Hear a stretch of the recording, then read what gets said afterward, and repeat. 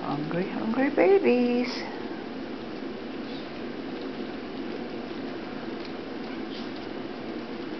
Three weeks and one day old.